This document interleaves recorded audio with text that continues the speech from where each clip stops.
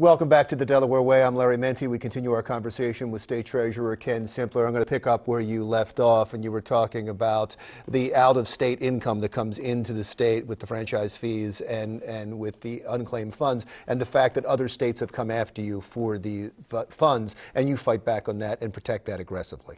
Yeah, absolutely, we do. And I think on the corporate franchise, we do an excellent job providing a, a service that corporations value. On the abandoned property, over time, once in a while, the reason I, I, I, I talk about other people's money is over time, we've sometimes been too aggressive. So on the abandoned property, we have over time lowered the amount of time by which we treat properties abandoned. And that's the bigger picture here, Larry. The bigger picture is when you don't actively manage your revenue portfolio. You can, we can argue, I'm sure people in Delaware might have a different view around spend, if we spend four and a half billion dollars in our general fund, some people are gonna think that's too much, some people are gonna think it's too little.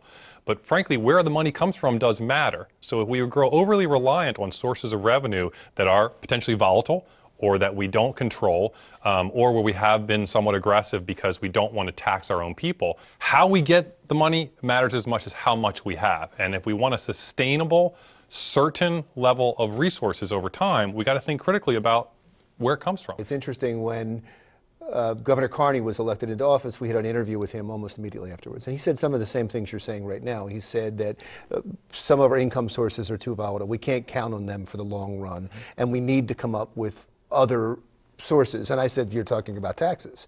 And he said, Yes. And I said, mm-hmm. Is everything on, on the table? He said, Yeah. Is it gas tax? He went, Yeah, every, everything has to be on the table. I think we've already dealt with the gas tax, but everything has to be on the table. That's where you scare people.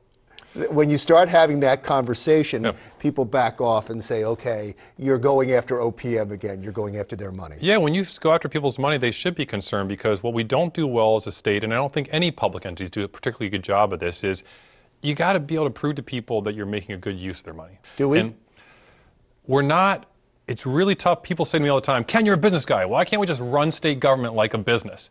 And I say, well, one, we don't have willing customers, as you've just pointed out, right?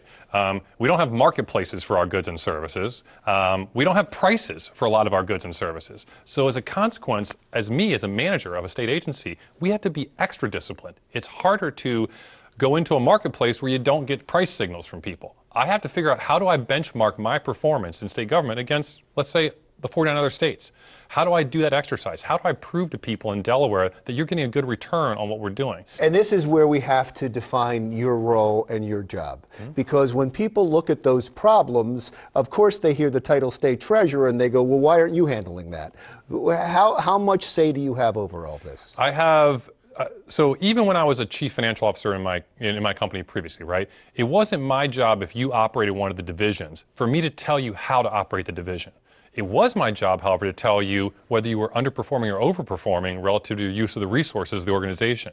That's the role I'm trying to play in a constructive way as state treasurer. But in terms of the budget, you know, people have to understand that the people who set the budget for the state of Delaware are the 62 people we have in the General Assembly. The governor gets to make a proposal around what the governor thinks the budget should be, but the 62 people in our General Assembly have the power of the purse.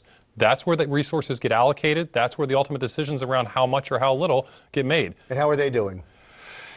I think that what the challenge in Delaware is we have a budget system that tells them that every year you should set the budget based on whatever revenues are. And that might sound fiscally sound for one year at a time because we never spend more than what we have.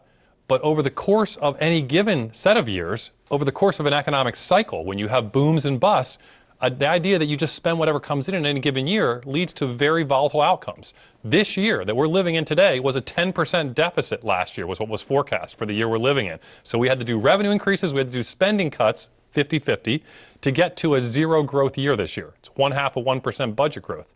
Eight months later, we're talking about 7% budget growth because that's the nature of what the revenues produced last year versus this year. Yeah, it's odd. And in past years, just recently, because of some court cases and because of winning some awards, they had more money to spend all of a sudden near the end. And then another year comes and all of a sudden you have to cut. So it's up and down and up and down and up and down. This is exactly what I want to talk to you about, if you can stick around for one more segment, sure. because you say you have a grand plan. You've been raising red flags, but you, have a, you say you have a grand plan to fix this cycle of budget crises that that we seem to have every year. And we'll talk more about that with Ken Simpler when the Delaware Way continues after this.